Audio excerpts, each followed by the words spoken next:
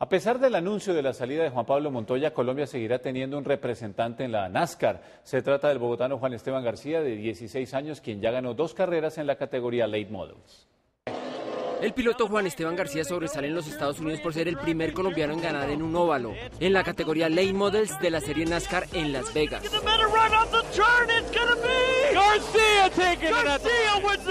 Ya estoy terminando mi primer año, ya he obtenido dos victorias afortunadamente. Y pues nada, en este en este año pues estamos esperando seguir con buenos resultados. A los 16 años se convirtió en el piloto más joven en ganar en un óvalo de media milla, en esta carrera que se disputó a 50 vueltas. He competido alrededor de unas 12, 13. Además es el único colombiano que participa en esta categoría y solo podrá llegar a correr en la máxima división de NASCAR, la Copa Sprint, cuando cumpla los 20 años.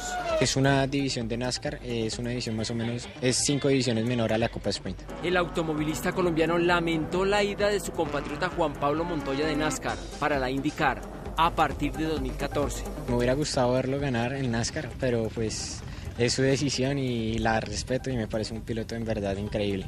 Faltan seis válidas para finalizar la categoría Lane Model de NASCAR con el equipo Position One y su meta es quedar entre los cinco primeros.